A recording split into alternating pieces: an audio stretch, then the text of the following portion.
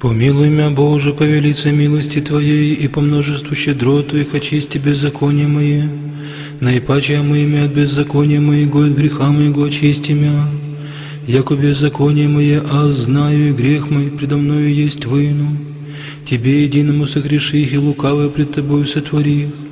Яко да оправдишься во слове сеях Твоих и победишь, и внегда судить идти. Себо в беззакониях зачат есть, и во гресех ради мя мать моя. Себо истину возлюбил и сей безвестная и тайная премудрости Твоей я явил Мессии. Окропиши меня и сопами очищуся, а мыши меня и паче снега убелюся. Слуху моему даси радости веселье, возрадуются кости смиренные. Отврати лице Твое от грех моих, и вся беззаконие моя очисти.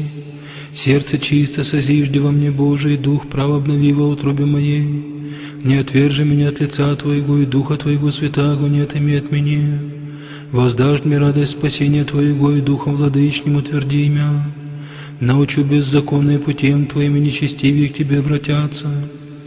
Избави меня от крови, Боже, Боже, спасение моего, возрадуется язык мой правде Твоей. Господи, усне мои отверзишь, и уста мои возвестят хвалу Твою.